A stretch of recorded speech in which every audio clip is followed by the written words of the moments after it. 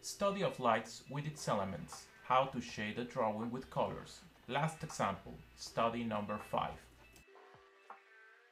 The last of our examples is taken by the color yellow.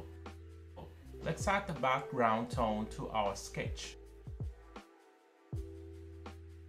Don't forget, from light to dark. Something not many people know or just ignore is what is the dark tone of yellow. You can make this with red or orange, which will be chromatically correct, but the right answer would be brownish, like ochre or mustard. As we add color in circular ways, we're going to change the directions of the strokes.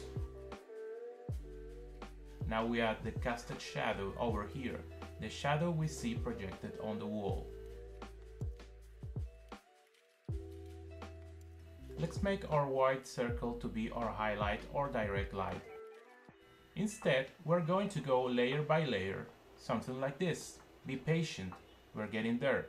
Patience is the art of being positive, and we must be certain that this drawing is going to be fabulous.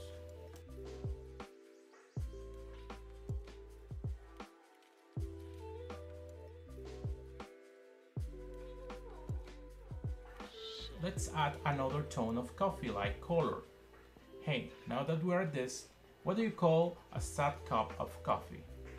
A depresso. Okay, sorry about that. The reason we apply black at last is to make colors look opaque at a certain point, giving it a very special touch.